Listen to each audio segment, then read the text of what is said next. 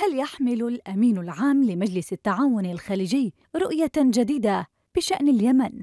تساؤل يحيط بزيارة جاسم البداوي إلى العاصمة المؤقتة عدن ولقائه برئيس مجلس القيادة الرئاسي ورئيس الحكومة ومسؤولين آخرين.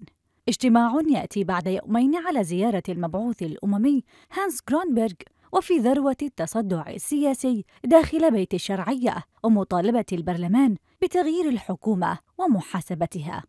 لم يوضح مجلس التعاون أي تفاصيل حول مهمة البداوي أو جدول أعماله، لكن الرجل نفسه خرج عقب اجتماعاته في عدن للإدلاء بأبجديات اللقاء ونقاطه.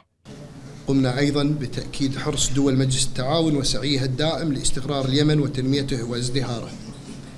أكدنا أيضا على الموقف الثابت لدول مجلس التعاون بشأن, بشأن إنهاء الأزمة اليمنية من خلال الحل السلمي المستند للمرجعيات الثلاث وفقا للمبادرة الخليجية وآلياتها التنفيذية ومخرجات مؤتمر الحوار الوطني الشامل وقرار مجلس الأمن رقم 2216 كثيرة هي النقاط التي أدلى بها الرجل من عدن من بينها تأكيد دعم دول الخليج لمجلس القيادة الرئاسي.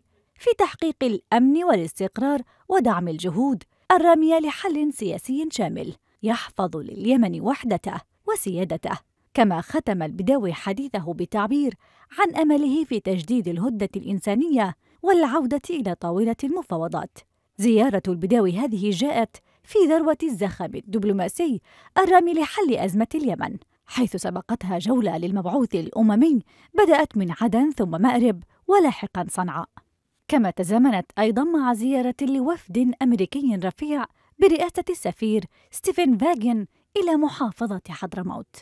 لا يعرف ما إذا كانت هذه الزيارات مرتبطة ببعضها، لكن تزامنها يشير إلى وجود مساع إقليمية ودولية منسقة لإنجاز حل ينهي الصراع في البلد، غير أن صيغة ذلك الحل لا تبدو واضحة حتى اللحظة.